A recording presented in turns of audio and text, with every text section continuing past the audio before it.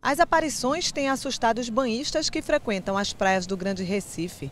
E o cuidado é ainda maior com as crianças. Hoje em dia você não tem coragem de levar o seu filho de 2, 3, 4, 5 anos, não importa a idade.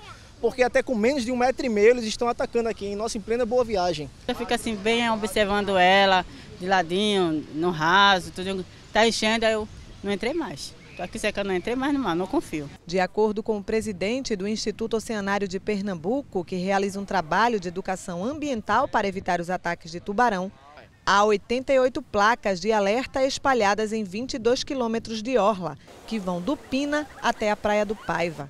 70 delas são de advertência e 18 educativas. Mas, além das placas, há outras maneiras de evitar possíveis ataques de evitar o banho em área de mar aberto, ou seja, aquelas áreas que não têm a proteção dos, dos arrecifes. Né? Se tiver, tiver com qualquer tipo de sangramento, é evitar o banho de mar nas marés altas, principalmente nos períodos de lua cheia e lua nova, evitar as bocas dos rios, né? a possibilidade da presença de um tubarão cabeça chata, por exemplo, é maior, evitar o banho de mar ao, ao amanhecer ou cair da tarde, nesse período esses animais são mais ativos. Evitar o banho de mar também em águas turvas, especialmente nos períodos chuvosos. O trabalho de orientação também é feito através da distribuição de panfletos como estes.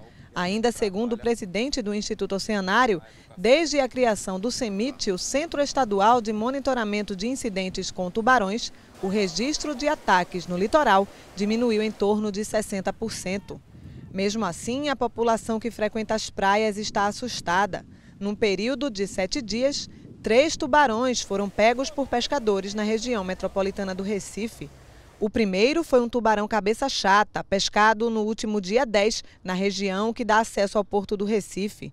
O segundo, também da espécie cabeça chata, foi capturado na Praia de Pau Amarelo, em Paulista, no último dia 12. Já na manhã da última sexta-feira, um tubarão lixa foi pescado na Praia de Del Chifre, em Olinda.